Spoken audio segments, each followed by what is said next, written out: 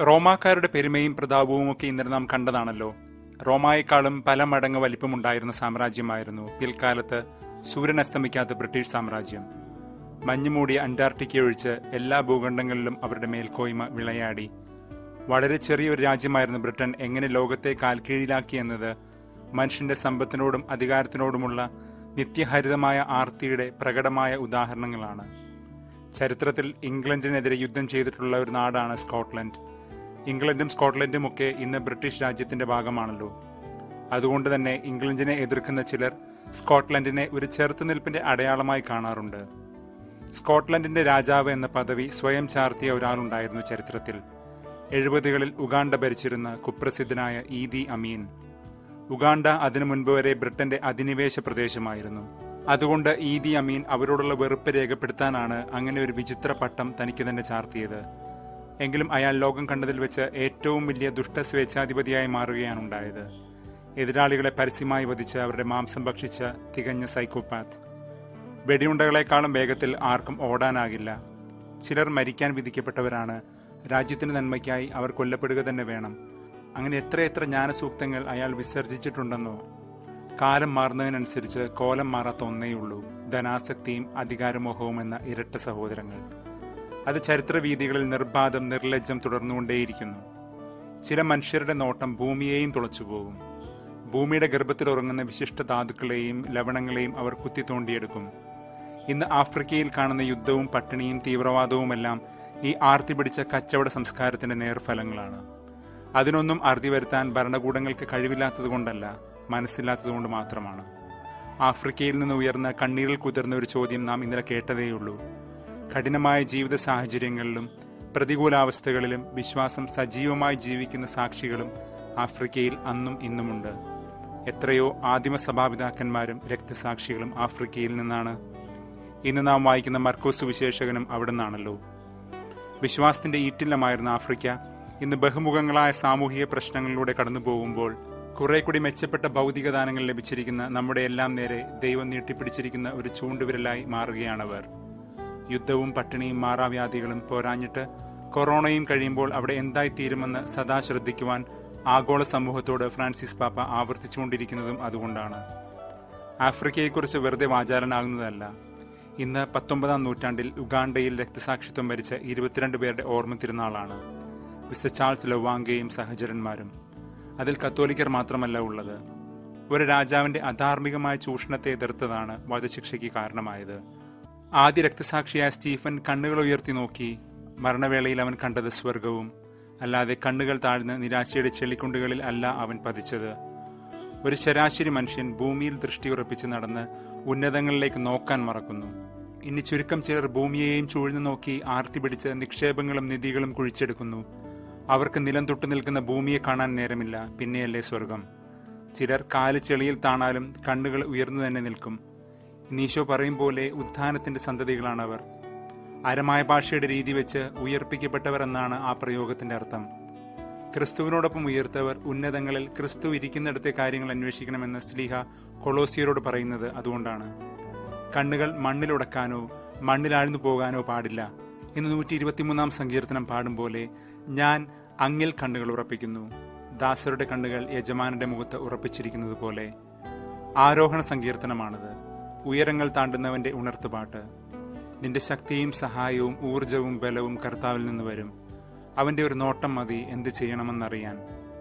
ഇന്ന് സതുക്കായർ കർത്താവിന്റെ അടുത്ത് ഉടക്ക ചോദ്യവുമായി വരുന്നു. അവർ പുനരുദ്ധാനത്തെയാണ് പരിഹസിക്കുന്നത്. സതുക്കായർ വളരെ സമ്പന്നരും സ്വാധീനവുമുള്ള ഒരു വർഗമായിരുന്നു അവർക്ക് കുറവുണ്ടായിരുന്നത് സൈനിക ബലം മാത്രമാണ്. അതാകട്ടെ അവർ റോമാക്കാർക്ക് വെഞ്ചാമരം വീശിക്കൊടുത്ത് നേടിയിരുന്നു. രാജാവിന്റെ അടുത്ത പദവികൾ ഉണ്ടായിരുന്ന യഹൂദ മുഖ്യ പുരോഹിതൻ പ്രബലരായ സതുക്കായ വിഭാഗത്തിൽ നിന്നാണ് വന്നിരുന്നത്. അവർ അരൂപികളിലോ മാലാഖമാരിലോ മരണാനന്തര ജീവിതത്തിലോ വിശ്വസിച്ചിരുന്നില്ല. ഭൂമിയിൽ അമർന്ന് ലോകസുഖങ്ങളിൽ ജീവിച്ചിരുന്നവർ എന്ന് സാരം. സാമൂലിന്റെ പുസ്തകത്തിൽ നാം പരിചയപ്പെടുന്ന രണ്ട് പുരോഹിതന്മാരാണ്. ഏലിയുടെ പുത്രന്മാരായ ഹോഫ്നിയും ഫിനെഹാസും. ദൈവശുശ്രൂഷയുടെ മറവിൽ അവർ ധനസുഖവും ശരീരസുഖവും തേടി. അതിനാൽ അവരുടെ പിൻതലമുറകളിൽ നിന്ന് പൗരോഹിത്യം എടുത്തുമാറ്റി ദൈവം. അങ്ങനെ ദൈവം ഉയർത്തിയ ഒരു മഹാപുരോഹിതനാണ് സാധോക് സോളമൻ ദേവാലയം പണിതപ്പോൾ അവിടെ ആദ്യം ബലിയർപ്പിച്ചവൻ. നീതിമാൻ എന്നാണ് ആ പേരിനർത്ഥം പോലും. ആ പൈതൃകത്തിൽപ്പെട്ടവരാണ് തങ്ങളെന്ന് സദുക്കായർ കരുതി. പേരിൽ മാത്രമേ സാദൃശ്യമുള്ളൂ. സാധോക്കും സദുക്കായരും ആനയും കുഴിയാനയും പോലെ വ്യത്യാസപ്പെട്ടിരിക്കുന്നു. റോമാക്കാരാണ് തങ്ങൾക്കിണങ്ങിയ മഹാപുരോഹിതന്മാരെ തിരഞ്ഞെടുത്തിരുന്നത്. അപ്രകാരമുള്ള ഒരു മഹാപുരോഹിതന് പാവങ്ങളോടുള്ള പരിഗണന നമുക്ക് ഊഹിക്കാവുന്നതേയുള്ളൂ രണ്ട് കാര്യങ്ങൾ കൊണ്ട് സദുക്കായർക്ക് ഈശോയോട് മാരകമായ ശത്രുതയുണ്ട്. ഒന്ന് റോമാക്കാരെ പ്രീതിപ്പെടുത്തി അനീതിയുടെ ഒരു ജീവിത രീതി കെട്ടിപ്പടുക്കുന്നതിനെ നാഥൻ വിമർശിച്ചിരുന്നു. രണ്ട് അവർ ദേവാലയത്തിൽ നടത്തിയിരുന്ന കച്ചവടത്തെ ഈശോ തകടം മറിച്ചു. ദേവാലയത്തെ വിഴുങ്ങുന്ന കള്ളന്മാർ എന്ന് വിളിച്ചു.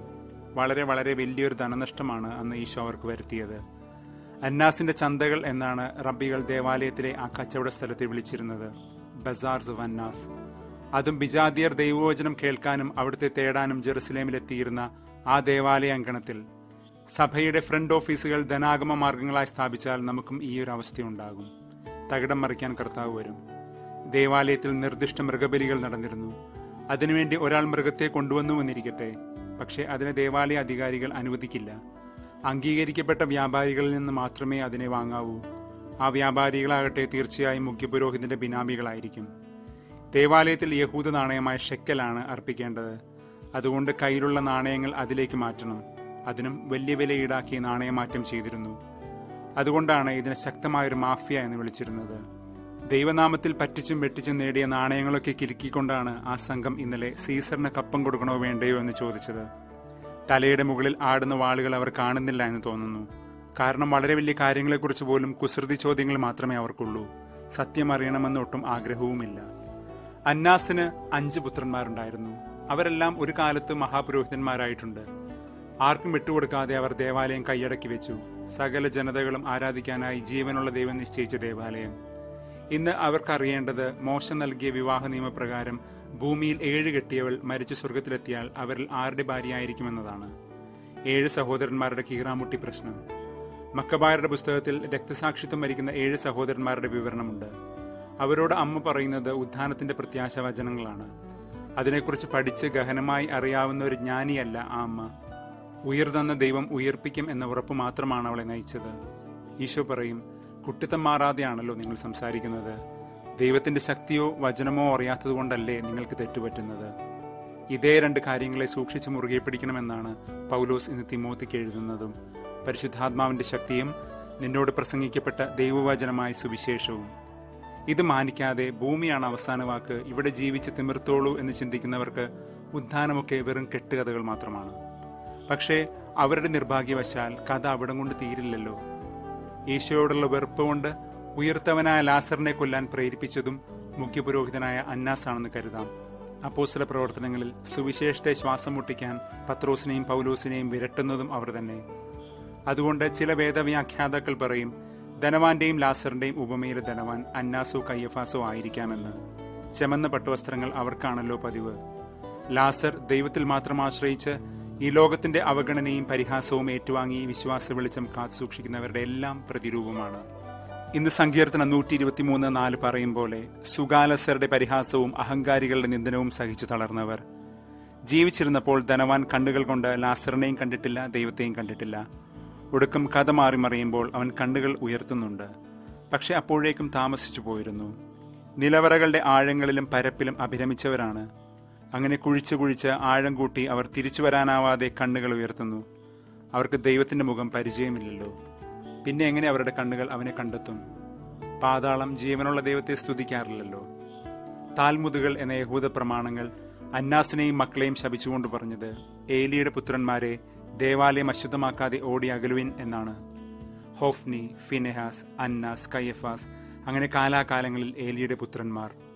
അന്നാസിന് അഞ്ച് മക്കളെന്ന പോലെ ധനവാന്റെ അഞ്ച് സഹോദരങ്ങൾ അപ്പോഴും പഴയ കളങ്ങളിൽ ആടിത്തിമിർക്കുകയാണ്. കാലത്തിന്റെ താക്കീതുകൾ ഗവനിക്കാത്തവരാണോ ഉയർത്തവന്റെ വാക്കുകൾ കേൾക്കുന്നത്? ഒന്നേ ചെയ്യാനുള്ളൂ പൗലോസ് തിമോത്തിയോട് പറഞ്ഞതുപോലെ നിന്നെ ഭരമേൽപ്പിച്ച നിക്ഷേപം പരാത്തീക്കെ ആണ് സുവിശേഷം. അത് നീ ശരിയായി വ്യയം ചെയ്യുക. സീസറിന്റെ വെള്ളികൾ കിലുങ്ങുന്ന അന്നാസിന്റെ പണപ്പെട്ടികളല്ല സുവിശേഷം. അത് ദൈവത്തിന്റെ ശക്തിയാണ്.